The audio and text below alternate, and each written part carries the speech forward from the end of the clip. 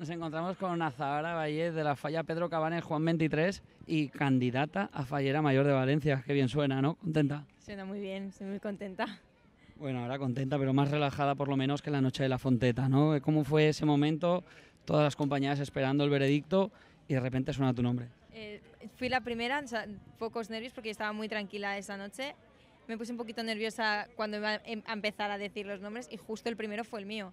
O sea, menos mal que estaba apoyada en una pared, porque si no me habría, me habría caído. Se puede decir que tuviste la suerte de ser la primera, ¿no? Sí, y ya después más tranquila ir oyendo el resto del veredicto, ¿no? Bueno, no me enteré del veredicto del resto porque estaba mirando, buscando a mi familia por las gradas, a mi falla y estaba anonadada todavía.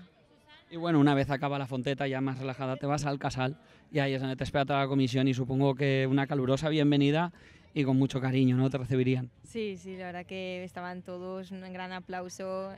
En mi caso lágrimas porque yo creo que desde la fonteta, en el coche hasta el casal, no paré de llorar porque no, no me lo creía.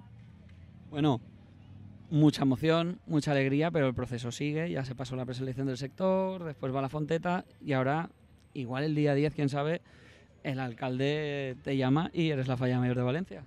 Yo me- llevo 48 horas siendo candidata, eh, corte de honor ya, pero no sé cómo... buah, es que puede ser apoteósico ser fallera mayor de Valencia.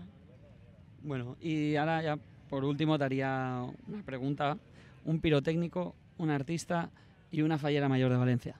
Pero técnico, bueno, diría Vulcano. Eh, ¿Me has dicho fallera mayor de Valencia? Artista y fallera mayor de Valencia. artista Sergio Amar, me parece un artista súper completo. Y Fallera Mayor de Valencia tengo mi corazón partido en dos, entre Raquel Alario y, y Alicia Moreno. Bueno, esto que no se note que Alicia es jurado, ¿no? Que no. No, pero se lo decía a ella, para mí, yo- para mí siempre una Fallera Mayor de Valencia ha sido el, el referente de, de las fallas, la cara visible. Y Alicia Moreno me, me gustó, pero conocerla como es ella en persona, de tú a tú durante 15 días, a mí me ha mostrado mucho de ella y, y la, llevo, la llevo en mi corazoncito. Bueno, pues a Zahara a ver si hay suerte y el día 10 te entrevistamos ya como fallera mayor de Valencia. Muchas gracias. Muchísimas gracias.